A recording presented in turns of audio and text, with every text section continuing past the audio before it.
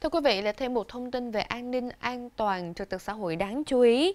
Ờ, vào khoảng 0 giờ 45 phút của ngày à, sáng ngày 27 tháng 12 thì tại số nhà 02 Phú Triệu Quốc Đạt của phường Điện Biên thành phố Thanh Hóa cũng đã xảy ra một vụ hỏa hoạn nghiêm trọng khiến cho ba người phải thiệt mạng.